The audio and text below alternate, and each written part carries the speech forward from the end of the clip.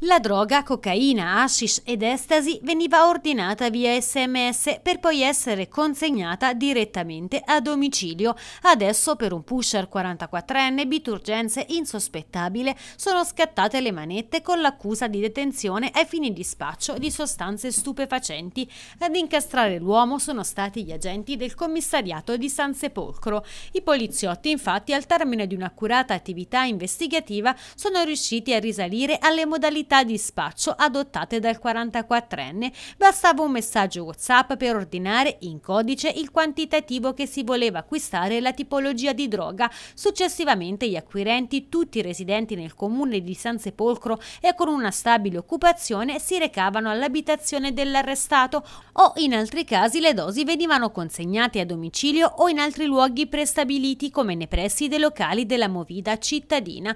Nel fine settimana infatti l'attività del push pusher si intensificava significativamente. Così lo scorso sabato sono scattate le manette, l'uomo è stato fermato dopo una perquisizione domiciliare. Gli agenti hanno trovato 150 grammi di cocaina, in parte già suddivisa in dosi, 30 grammi di hashish, alcune pillole di ecstasy, materiale occorrente per il confezionamento dello stupefacente, bilancini di precisione e circa 4.000 euro in contanti, il tutto ben occultato nelle stanze della sua abitazione. L'uomo è stato arrestato e trasferito in carcere a Sollicciano. Nel corso dell'attività investigativa i poliziotti hanno inoltre sanzionato e segnalato come assuntori altre persone che avevano acquistato la sostanza stupefacente.